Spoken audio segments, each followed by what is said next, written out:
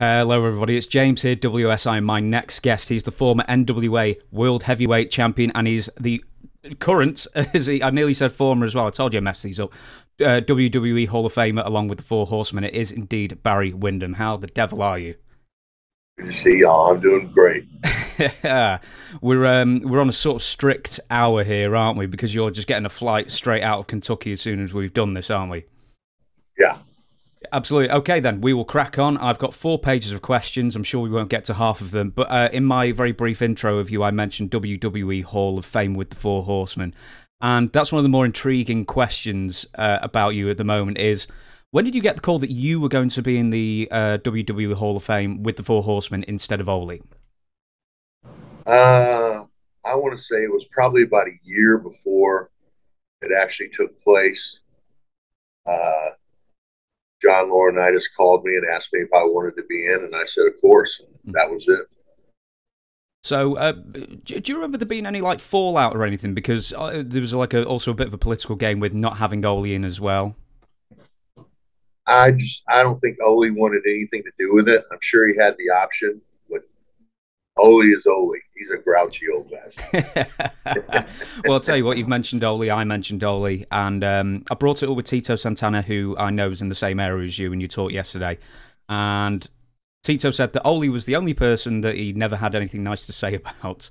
Uh, does that go for you as well? Well, Ole was just a just a grump and a grouch all the time. So hmm. I never had any problems with it. But he was that was just his demeanor all the time.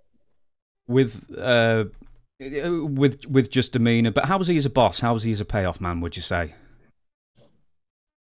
Well, he was never the payoff guy. Uh, he was always just a booker wherever I was, and uh, you know, he, he, was good at booking the matches and all. He was an intelligent guy. He knew what he was doing. Mm.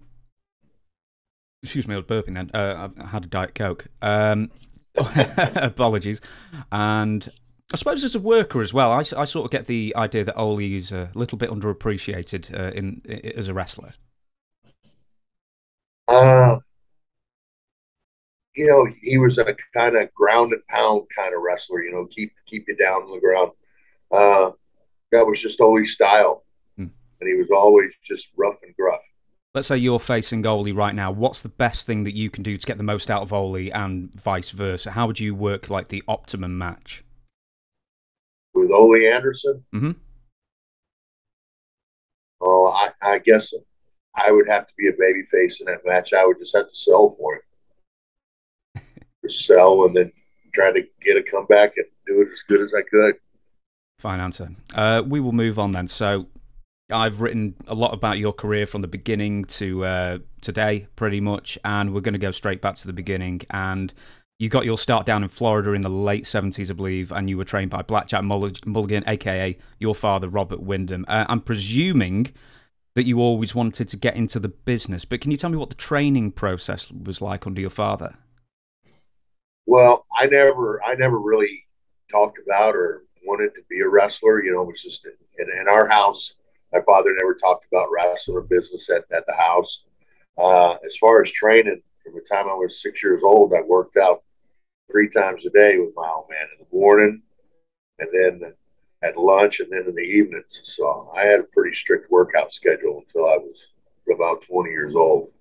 How long uh, did that last for? Weeks, months? Oh, it was my whole life. well, when did he start training with you then? I mean, did he start like trying to get you in shape as a young kid or? Well, I mean, when I was like six or seven, he had me doing push ups and curls, chin ups, and pull ups, you know, stuff like that. Do squats. With, um, with having a famous father in the business, uh, and I'm getting an idea of the answer already, but uh, he never taught wrestling at home. I presume that only when you got into the business of wrestling did you fully understand uh, the nature of the business. Yeah, I mean, I went to college and I was away from my dad, and I was uh, while I was in college, I started refereeing, and I hauled the ring and set up the chairs at all the matches for for almost two years. So I, I learned the ins and outs of the business that way too. Yeah, was it just so you're just learning it by osmosis then, essentially? Yeah. Yeah. Uh, Who else trained you then? So, I mean, obviously your father, but uh, since you broke in in Florida, was it Hiro Matsuda? Was there Karl Gotch hanging around helping?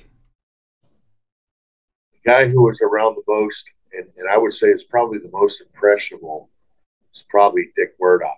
Huh?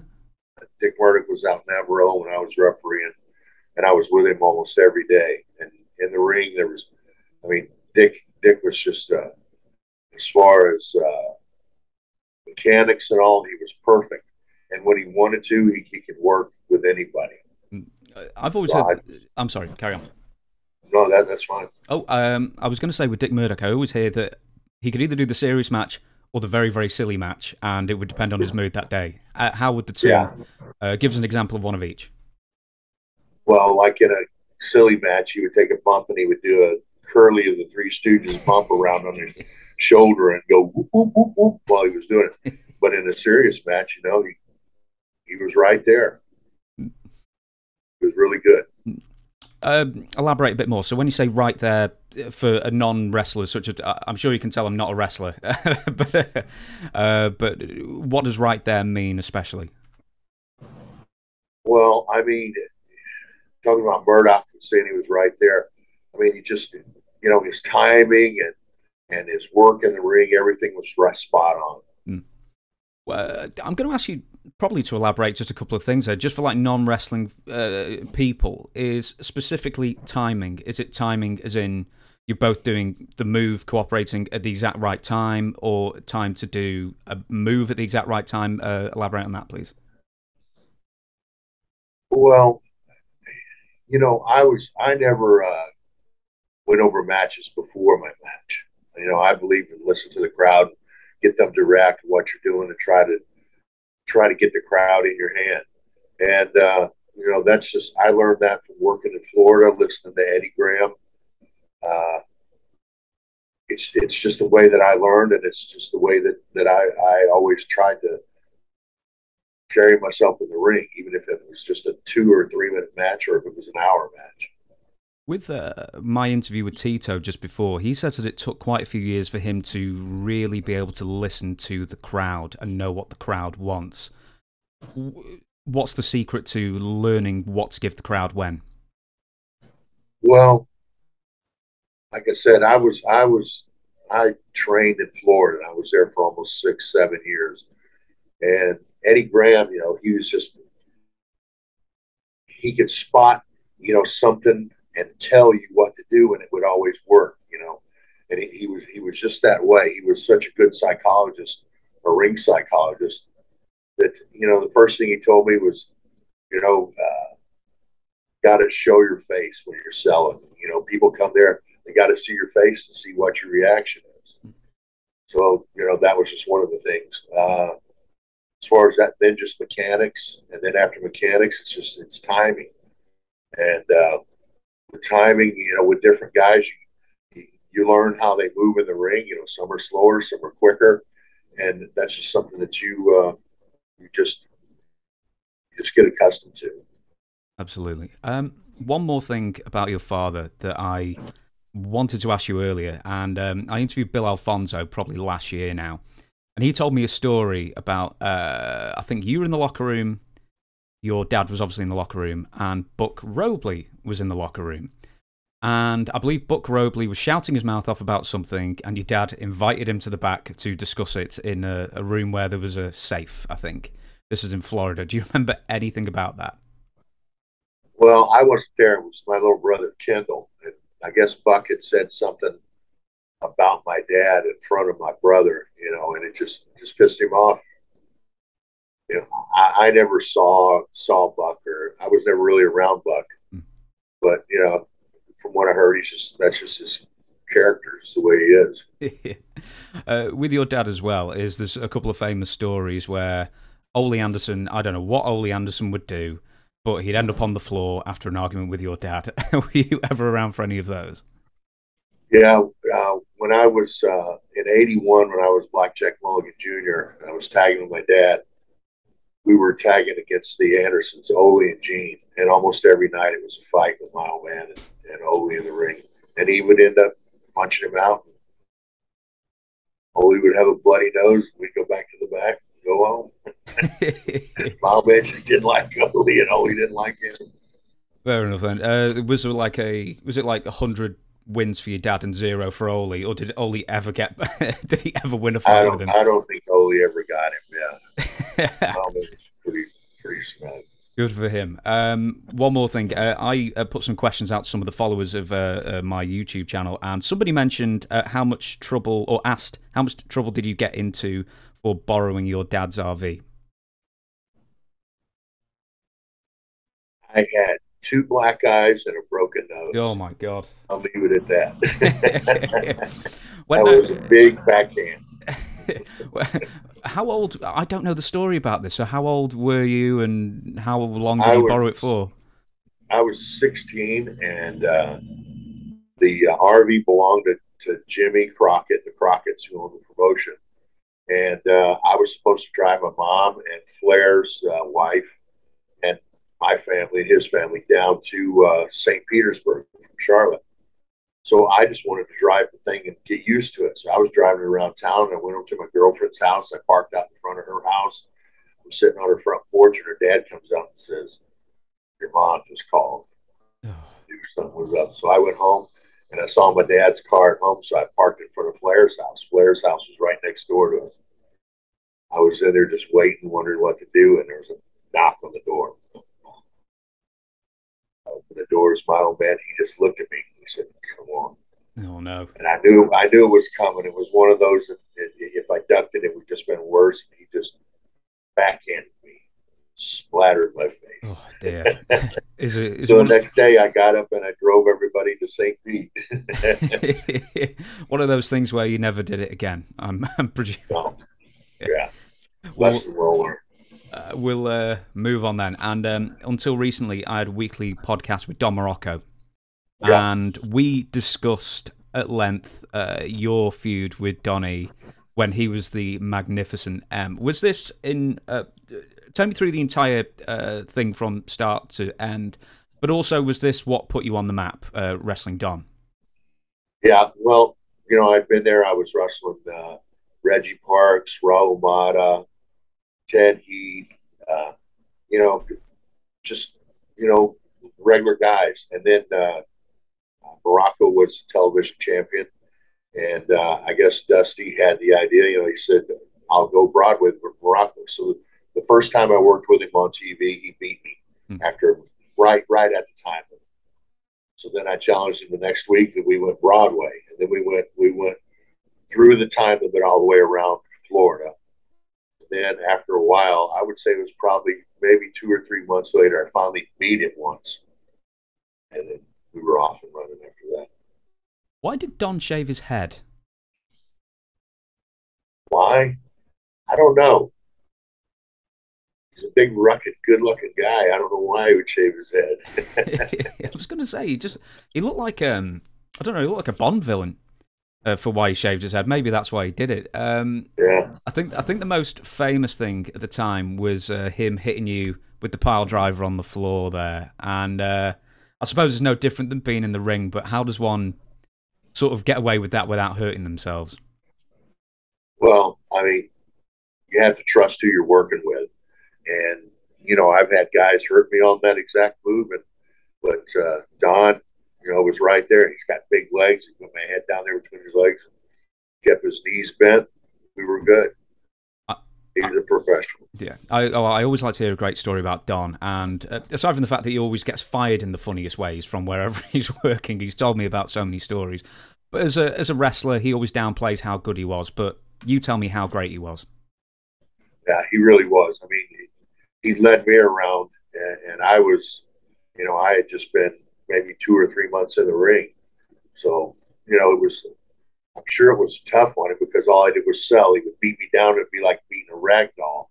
He'd have to pick me up. And, you know, sometimes he'd try to cover me, and then two count, he'd pick my head up. But, you know, it was just, we're just trying to establish my character as somebody that won't quit, you know, that'll keep on. And Don was right there with it. Hmm, absolutely. Uh, also, of, Everywhere he's been, he's been great. of of um of all the people I know, Don can put some drinks down. I know you can put some drinks down. I know there's the Briscoes, there's everybody else in Florida, but who was the drinker of all drinkers in Florida? Oh, well, I mean, nobody could outdrink Andre. Andre was was there down in Florida quite a bit, but regular drinkers, I don't know. I, I mean, we drank so much, I don't know who drank the most. it's all just blurry at a certain yeah. point, I take it. Um, because you mentioned Andre, um, something I've never asked about Andre is when he would come into Florida, for example, how much would the house jump up in uh, thousands, I imagine? Well, I mean, he was usually only here, you know, for big shows. We ran like a St. Pete or Lakeland where there, there were special Saturday night shows.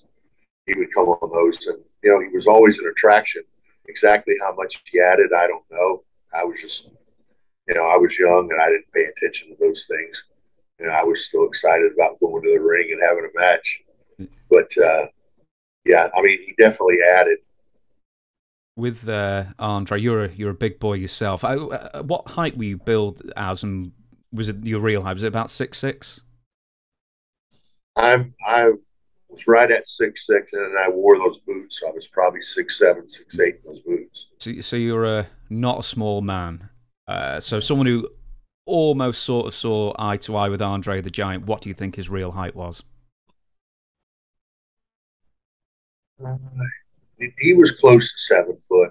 I mean, he was there. He was a big. He was a big old rascal. I've got a story about Andre. Uh, whenever he come to Florida, he would ride with me because he knew my dad.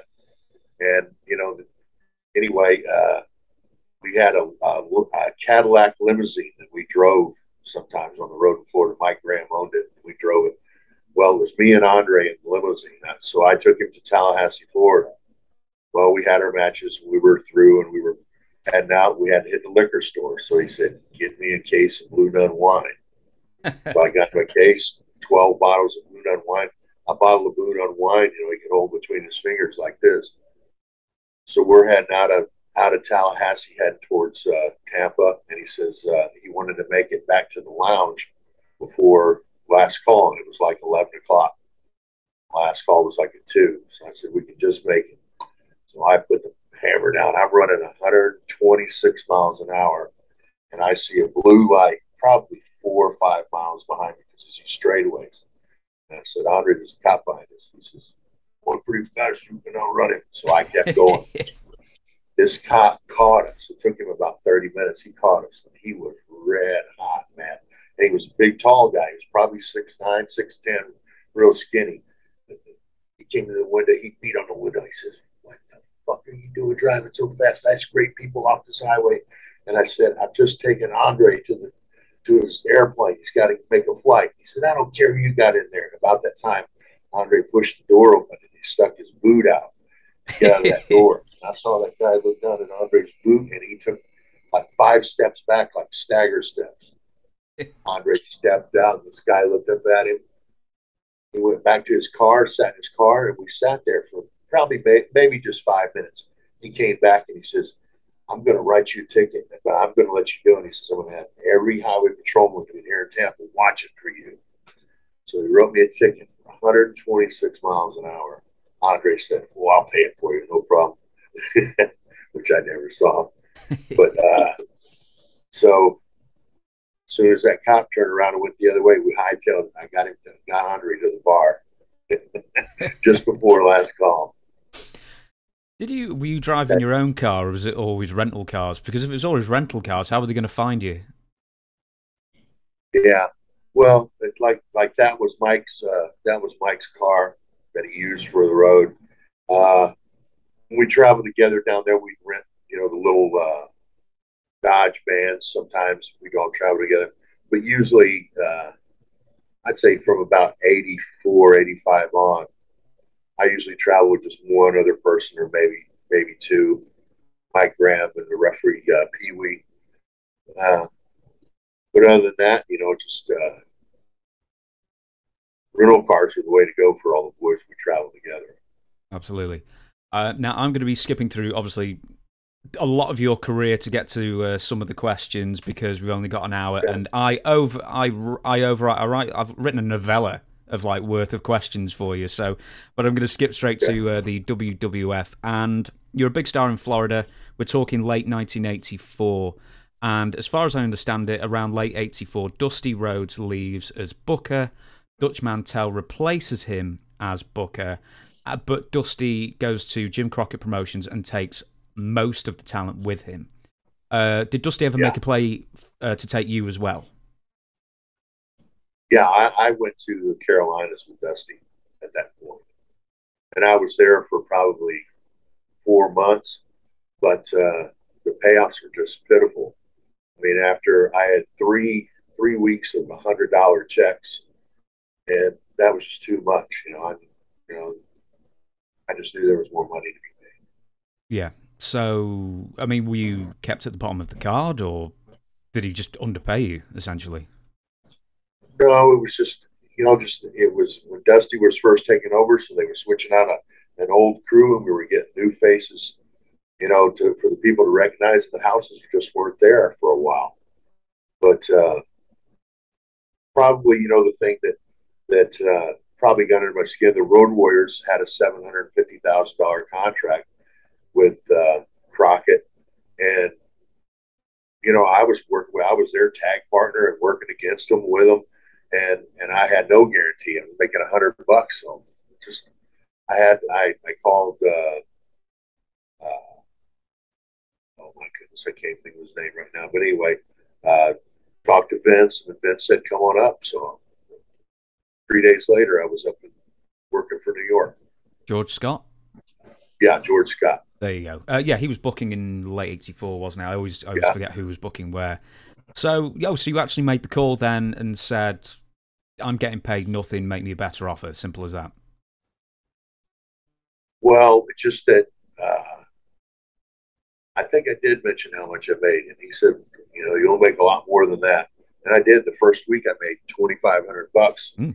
you know, which helped pay some bills I yeah. from the other company. You're telling me. Um, do you uh, did you ever have one a one on one meeting with Vince McMahon when you first went up there, or were you just given a directed by George Scott, turn up at this town, and that's that? No, nah, never really any one on ones with Vince. Uh, you know, just maybe just maybe talking over a match or, or asking, you know, something for one of the, uh, some of the talent, you know, when I was an agent, if finish was okay, just something like that. Uh, let's see, is that you low battery or is that me? Uh, it's going to be you low battery, but uh, a, a, a, wire will will turn up soon enough uh, to uh, plug it in. All right. There we go. Okay, so um, when you're in WWF at first, uh, you brought in as a single star. So, and I was looking at some of the people you beat, and these are some big names: Paul Orndorff, Greg Valentine, Doctor D, David Schultz. I mean, straight off, it looks like the WWF had big plans for you. Yeah, uh, uh, and then uh, I guess I was there about three months, and then I talked Rotundo into coming up there, and uh, we were together, and we were off and running. Mm. Uh, well, that actually uh, brings me to my next question. So it was actually you who brought Mike up, and was it you who wanted to team up with him? Yeah, I mean, I had been talking to Vince about it, telling you know he was my brother-in-law, he was my new brother-in-law, probably my best friend, and you know I was just going to bat for it. So, uh, uh so there was actually uh, how am I going to say this? So yeah, so you you're having a great run as a single star, and then you're put into a tag uh, tag team with your brother-in-law. And we worried that like you're going to get like a, derailed push as a single star, or you thought it was going to be temporary. I mean, what were these sort of like long term plans with uh, the US Express? Uh, you know, back then we didn't really talk long term. You know, we had been in territory, so we lived week to week you know, right before that. And I just come from Charlotte making a hundred dollars a week, so I was just happy to get paid. so fine, we were just glad we were on the roster. Yeah, it's a fine attitude to have as well. Um, I don't think many people know this, but when was the first time you heard your theme entrance music, Real American? Oh, let's see.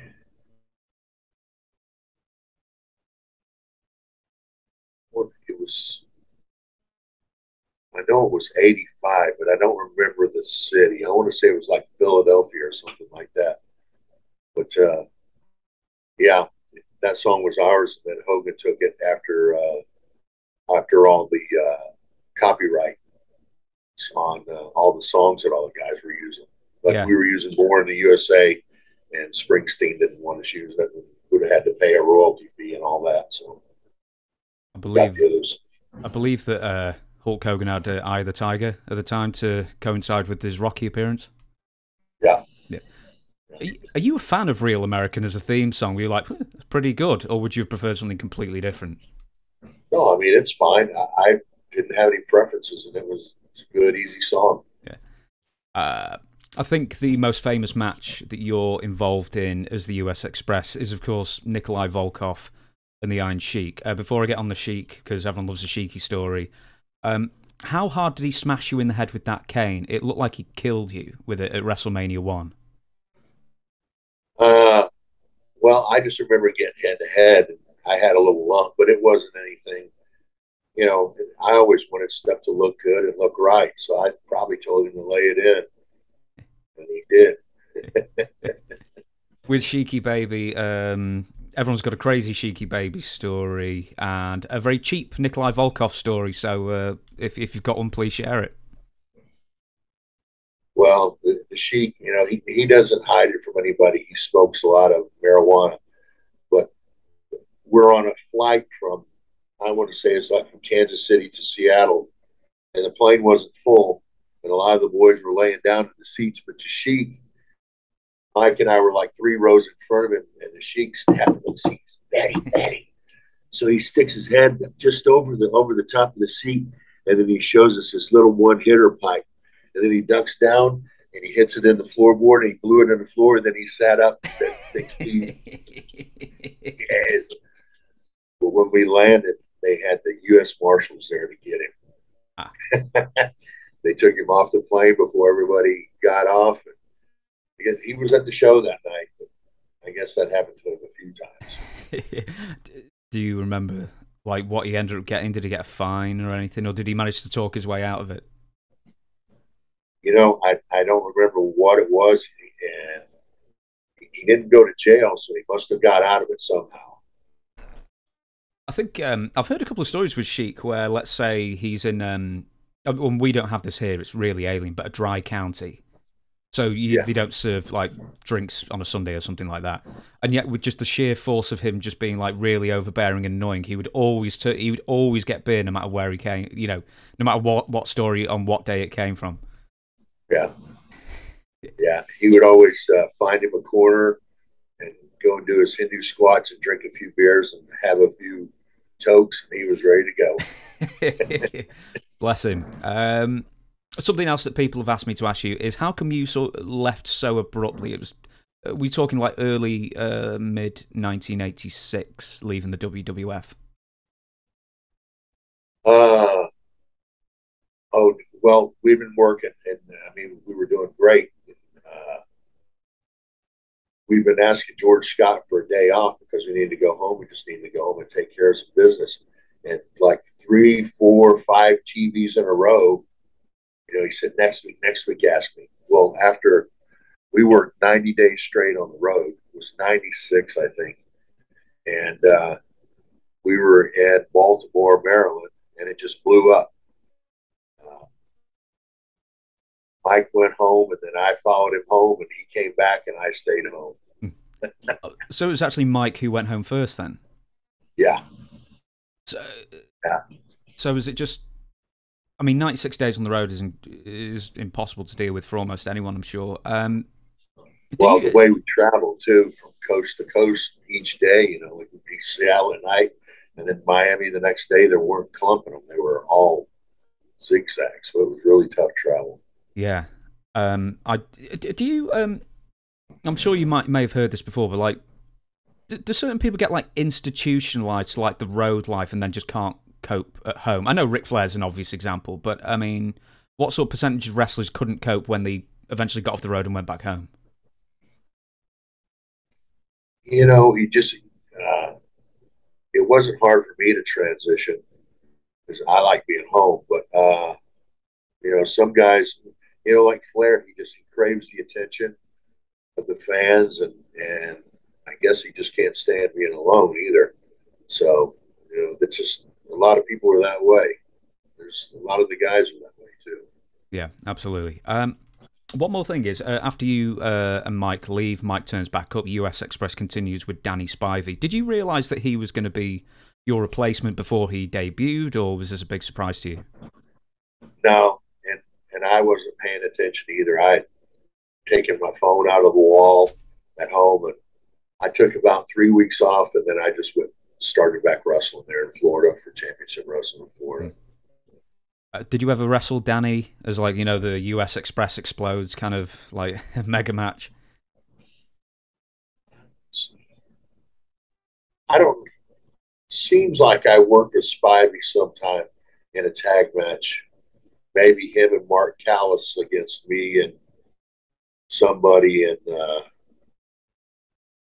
but I don't really recall working with Spivey clearly.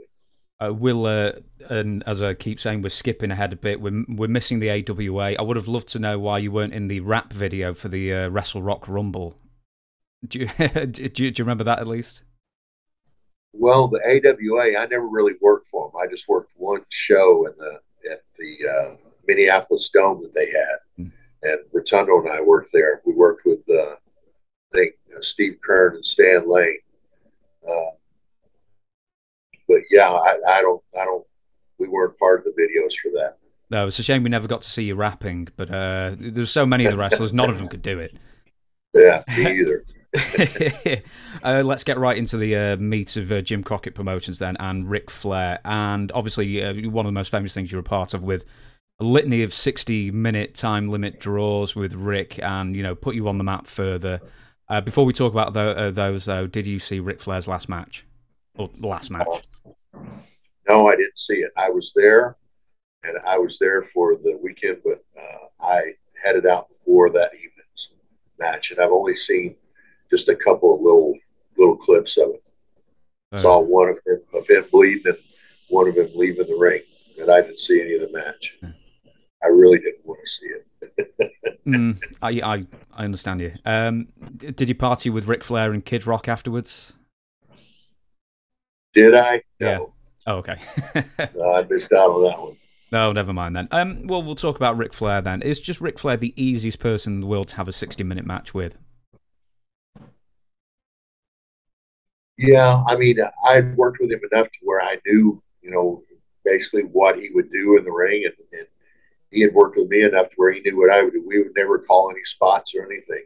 All those matches we had were just, you know, just cold right in there, and uh, it was, you know, it was just uh, our training and ability that we did that on. We didn't plan out any of the spots or anything before, and even the finish, you know, we left those open too sometimes. Mm to how we would do it. With, uh, I don't understand why. I mean, I do understand why, but some people use that as a knock against Ric that he always has the same match. But it's like he always has the same match, and he's sold out arenas for 25 years with it. So, or probably longer, in fact. So, uh, I mean, that should be a testament to him, surely.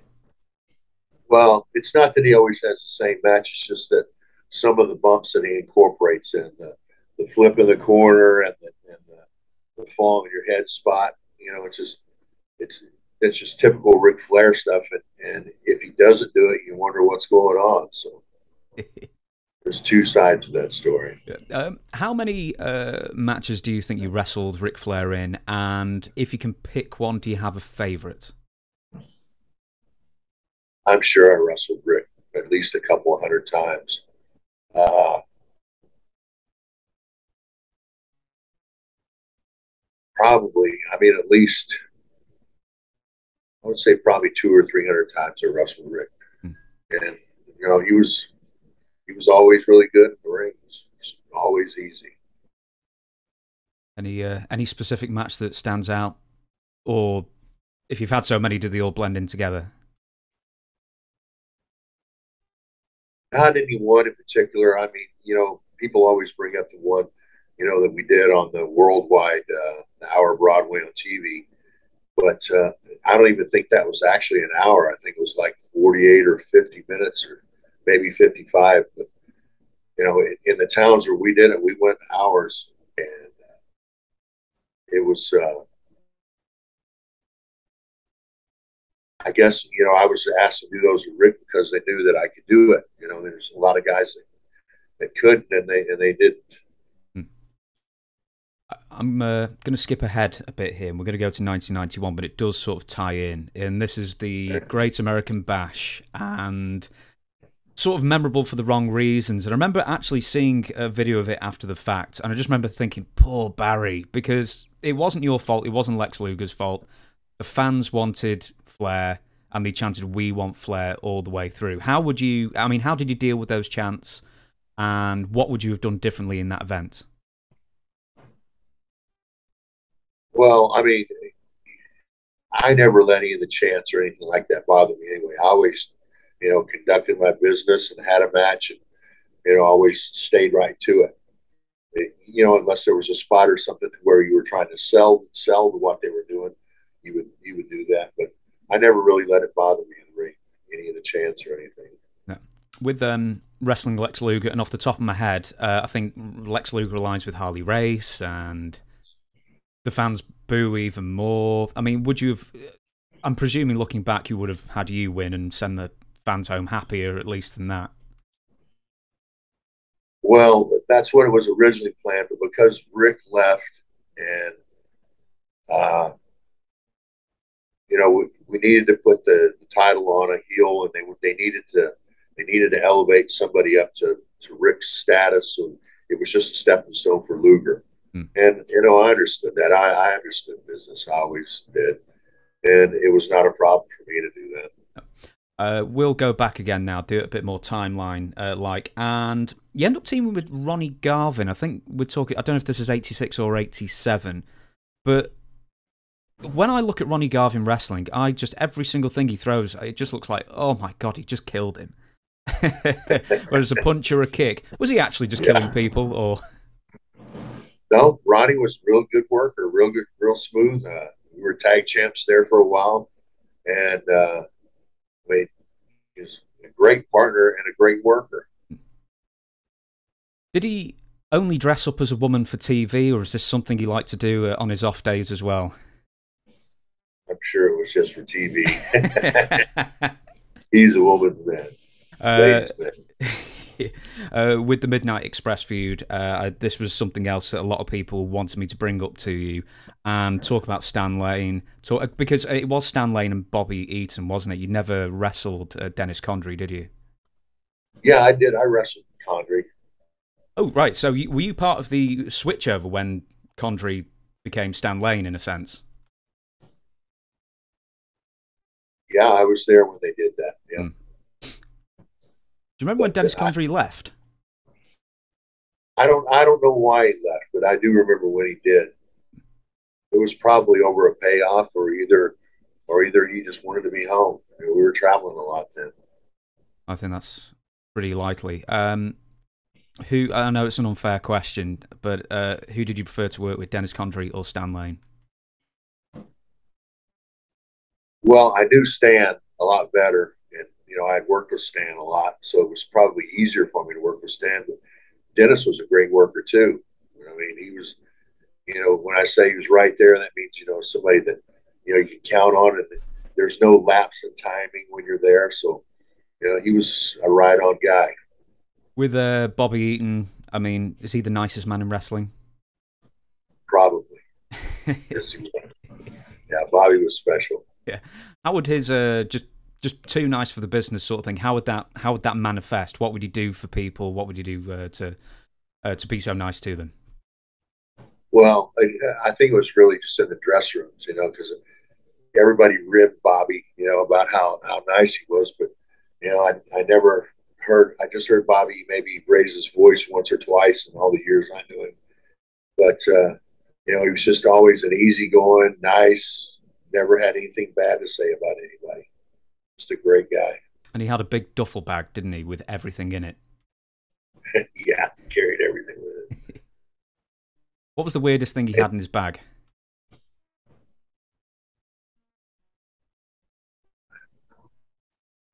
Probably some dog collars. He had a, he had like four or five dog collars that I knew of, and I don't know why he had them. I was going to ask why did he have them, but I mean, well, that'll have to remain a mystery. It sounds like. yeah uh, sticking on with Midnight Express, Jim Cornette. Everybody's got a Jim Cornette story. Uh, you know, I was around Jim. I didn't really interact with him a lot. Uh, as far as stories, I mean, we all flew on the. We had a plane that was it was the G one, and it was I guess it seated probably maybe twenty five, maybe thirty people, and we would all fly on that plane. And I remember us getting uh, Jim drunk. We would shotgun beers, cut a hole in the bottom of the beer, drinking as fast as you can. Well, he was shotgunning diet sodas. Right. So we got him. We got him to shotgun one beer, and he was plastered on one beer. he was laughing and giggling and laying on the couch and in the floor. He, he was pretty wild. That was just one beer. With uh, oh, do you know? I've got so many questions. What I'll ask. I was going to ask about the UWF. I was going to ask about various plane rides in in the Crockett planes, and I believe one was called the Jabroni Jet, which is always a, a funny name to have. Um, I'm going to see where I'm going to go with this. And WWF again, we'll go there. And you turn up as the Widowmaker. Uh, what was the concept of the Widowmaker? Because it just looked like Barry Windham to me. You know, I was just trying to get Vince to bring me in as Barry Windham, you know, instead of the Stalker or the Widowmaker. But he would never do it. He just he wanted to put those tags on me. Hmm.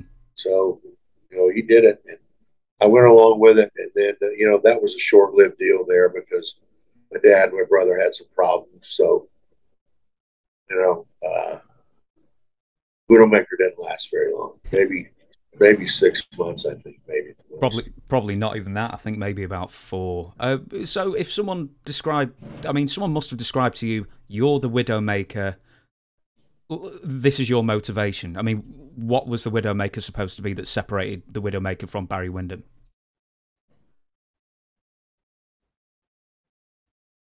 That I don't really know.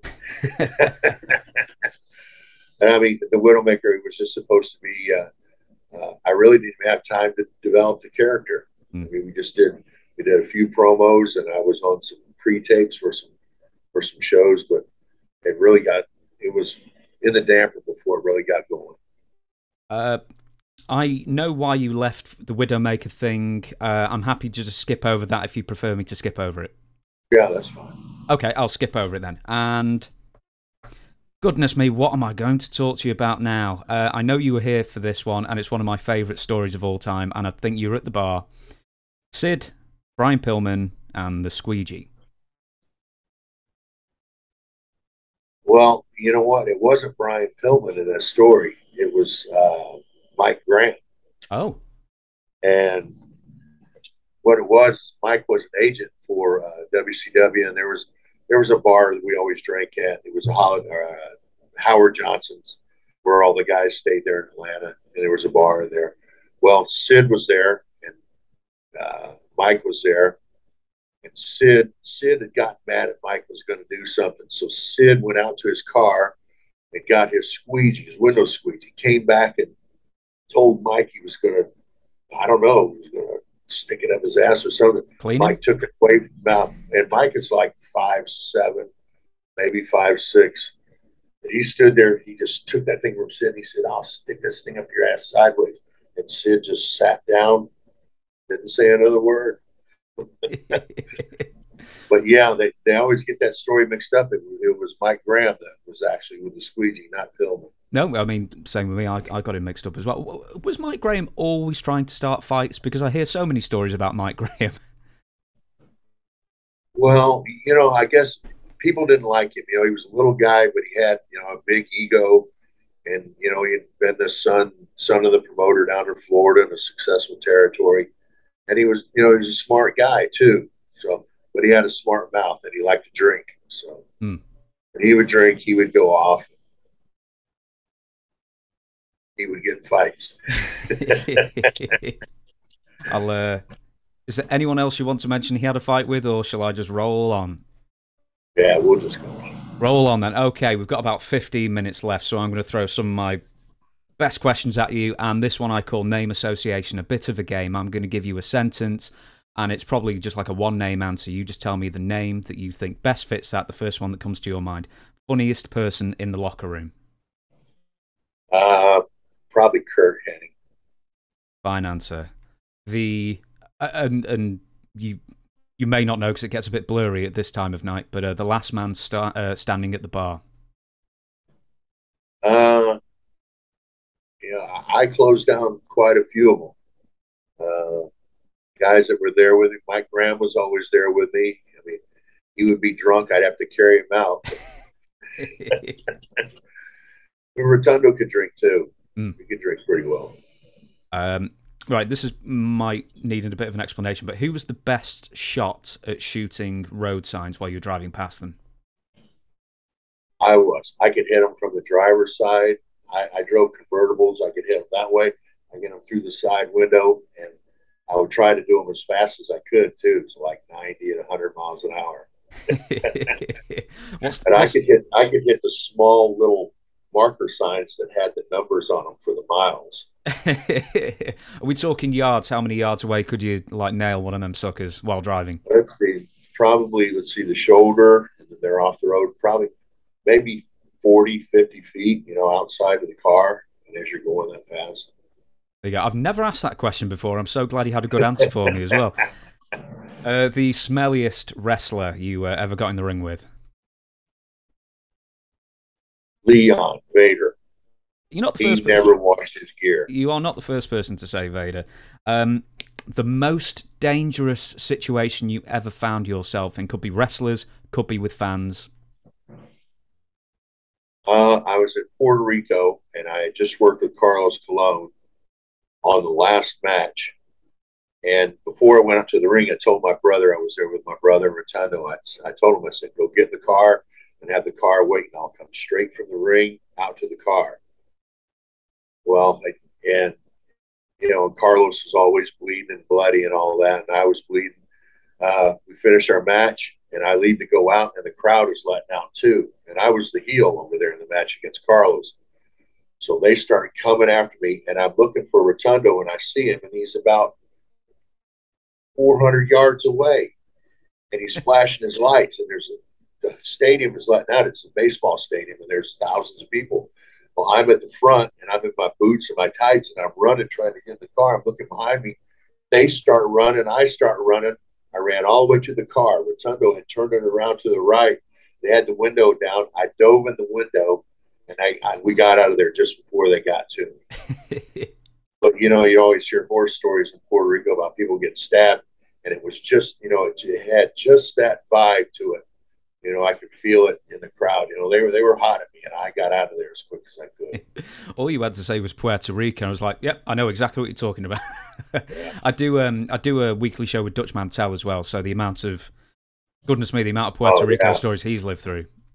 Yeah, he had some input on that. yeah, he's he's probably he, he whipped him into a frenzy as uh, as as as good as most, I believe. Um, the stiffest wrestler you ever faced. You know, Kevin Sullivan is pretty stiff. He does a stomp where he stomps on your stomach, and he thinks he thinks he's working it, but he's not. he, he's touched my belly button to my spine at least ten times, and it's just terrible and even if you tense up, you know it's coming. um, this is a new question as well that someone suggested. Um, the biggest sandbagger who would just never go up for moves. Oh, oh I'm not going to say Uh, well, I will. I'll say it was Larry Zbyszko. Yeah, I worked with Larry later in his career, and he wanted to walk and talk in the match, and I wanted to, you know, take bumps and sell and go outside the ring. So Larry sandbagged on me quite a bit. Naughty Larry. Uh, I've interviewed him once before as well. He was great. I hope to interview him again. Uh, I'm going to give you a few more, and then we'll move on to sort of the finale. I think. Um, most memorable backstage fight.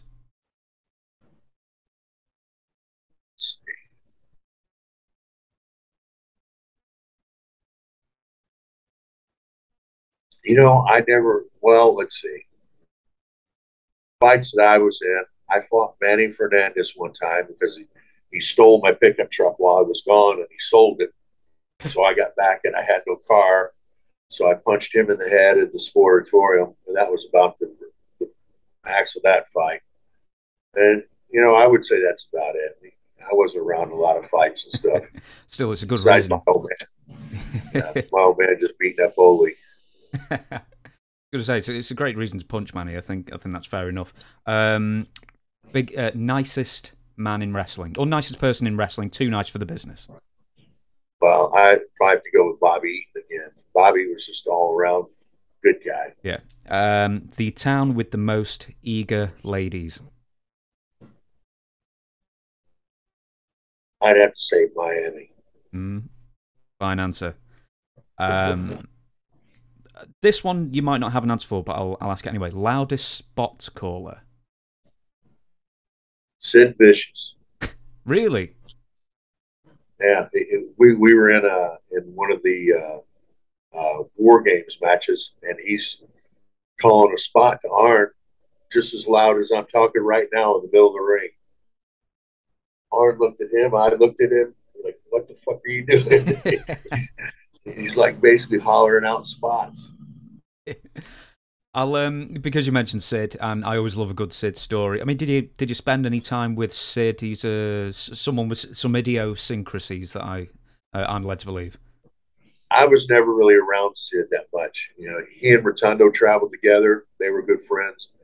But uh, I was never never really traveled with Sid or was around him very much. No. Okay, uh, I'll ask you a couple more. Uh, biggest ribber? Probably either Curt or uh, uh, Owen. Mm-hmm. Now, just because you mentioned Owen Hart, I've written a book about Owen Hart. I, it's somewhere. I, I, can't advertise it, but um, in a match with you, he rolls your he rolls his own ankle. Do you remember that match?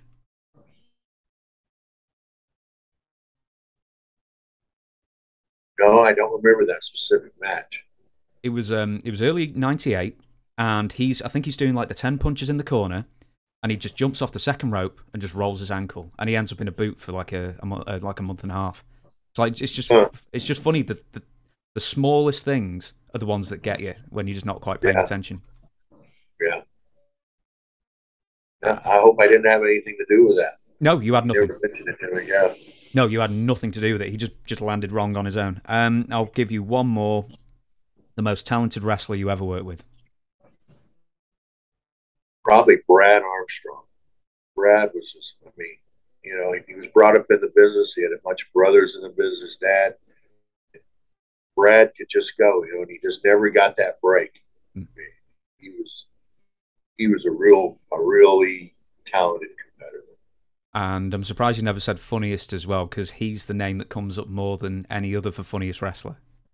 Yeah, he was always he was real sharp wit. I'll um, we've got slightly under ten minutes left. I'll ask you a couple of questions and then thank you for your time. And I'm going to ask you. I know you mentioned it before briefly, but this is when I was watching wrestling and the Stalker uh, character. You come back in the WWF in 1996. How does Vince pitch the Stalker to you? What are you as the Stalker? I think that it. Uh,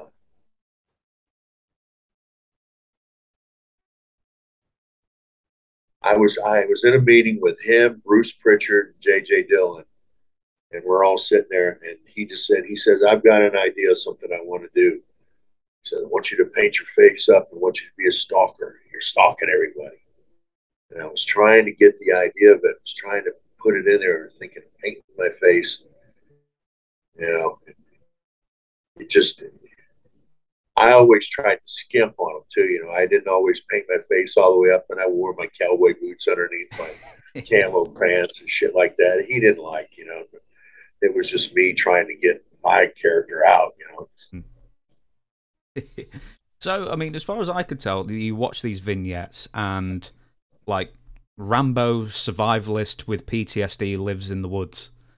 And I always find these repackagings so odd when you've already been the WWF twice and you're a former NWA world champion. You know what I mean? Yeah. Yeah. And I was, you know, I'd been the uh, NWA champ just a few years before, and you know he I don't know. I guess maybe you know, maybe his reasoning was that I could work well enough to where I could make something work. I guess that's his reasoning, or or he could make it work, and but it never did. Hmm.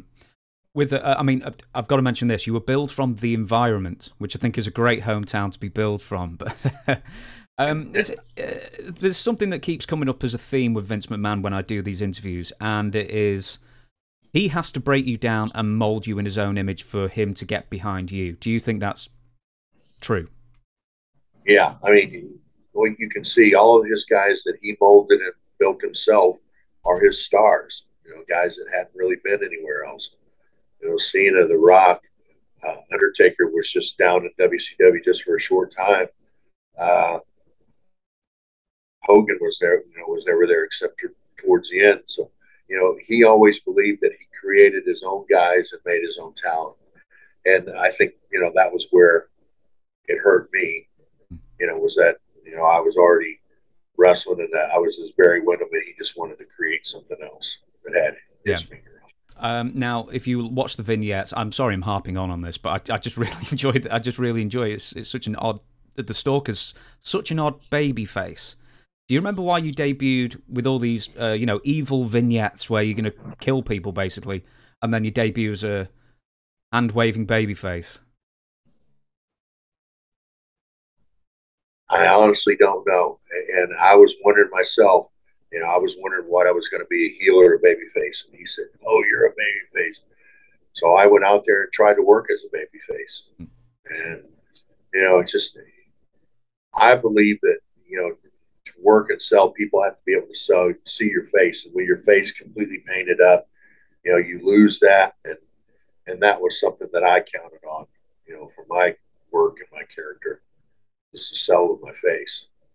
Now, um, some of my research suggests this is that originally you were going to debut as a bad guy, and the uh, creative directive that was originally given was that you were going to feud with Marc Mero and you were going to cut Sable's throat. Do you remember any of that? No, I don't remember any of that. I was going to cut Sable's throat. Huh? Yeah, well, you know, as a as a Rambo uh, living out in the woods survivalist for your life, I mean, you know, hunting your prey. I mean, that that's apparently what it was going to be. Yeah, I don't know how he could have got away with that on TV. no, it doesn't strike me as advertiser friendly. Yeah. I'll, um, I'm sure that's just made up. well, it might have been Bruce Pritchard or someone who uh, first yeah. first ventured that one out, but we'll never know. I think we've got. Bruce was in charge of that character too, the stalker. Mm-hmm. Oh, did he? Did he film been, the vignettes with you? Yeah, you know, it may have been Pritchard's idea. Now that I think about it, mm. so because he was put in charge of it right away. Uh, we have time for one more question, maybe two. We'll see how far we get with it. But um, we're going back to WCW for final run. WCW West Texas Rednecks. Man, that's a good song. Curt Hennig can't sing for shit, and it's still a good song. That rap is crap thing. Yeah, yeah. Uh, he and I were riding down the road one day, and uh, he said, uh, "He said I'm talking to Jimmy Hart about." About some stuff, and he's got an idea for a song. So Jimmy wrote a song. Curt went and recorded it, and uh, the rest of it was a good time doing that. We were supposed to be the heels, but we ended up being baby faces. Well, exactly. Uh, did he volunteer for you to sing instead? I mean, you can't be any worse than Curt was, surely. Yeah, absolutely. what are you saying? You you're a worse singer than Curt? Oh yeah, absolutely. Oh dearie me. Did you um did you ever learn any of? The, I don't even know what instrument you were supposed to be playing in the video. Did you have? Can you play an instrument? I was playing a drum that had towels folded on it, so I wouldn't make any noise. I was beating on the towels, doing the best I could to keep them beat. No, no, I can't play any instruments. Uh, with um with WCW, especially at that time, didn't look like many people were having fun. But I mean, it looked like you guys were having fun. Yeah, we were, and and it was because it was working and it was going completely opposite the way that they wanted it to. Mm. They wanted us to be heels and we were baby faces. And we were enjoying it. Yeah, with Master P and his No Limit Soldiers. Um, uh, call me armchair booker, but there's 12 of them. You're in the south. It's a southern company where country, I imagine, is more popular than in the north. So you know, it's a southern-based country. Country, uh, uh, sorry, uh, promotion, country music. You're faced with overwhelming odds, four against like ten or four against twelve. Like, how do they expect Well- it to go any different? Yeah, I mean, there were a lot of them, and and none of them knew how to work either. So we were having to move them around and position them and put them in place and go through the finishes and all that. Uh, you know, Konnan could work and Rey Mysterio, but but uh, as far as uh, the rest of Master P's crew, they were tough to move around. yeah, Swoll, especially. Um, I've uh, got the nod that it's at the hour mark. I've got to let you go. I wrote four pages worth of questions. We didn't get even get to half of them. So if you ever come back, I'd love to interview you again. So thank you so much for uh, doing this for me. Absolutely, thank you. Thank you. Uh, I'll do the sign off now. Thank you very much for watching. Uh, we'll catch you again next week, whoever we have on. Um, do you have any plugs you want to get out there, Barry? All right, thank Uh, you. Yeah. Do you, sorry. Do you have any plugs you want to get out there? Anything to send people to? Or Trying to shut this phone down. Uh, what were you saying again? I was Sorry. saying, did did you have any plugs you wanted to get out before I sh- sign off? no, I don't have anything to. That's fine. I right. appreciate it. Yeah, I appreciate it as well. Thank you very much, and thank you. All right, thank you.